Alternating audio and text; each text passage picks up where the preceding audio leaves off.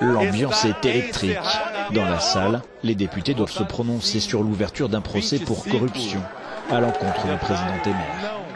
La réponse est finalement négative. À 40 voix contre 25, les membres de la commission ont rejeté la proposition. Mais leur vote n'est pas contraignant.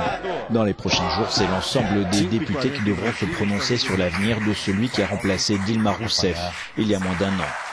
Pour que la procédure aboutisse, il faudra qu'au moins deux tiers de l'Assemblée votent pour son renvoi devant la justice.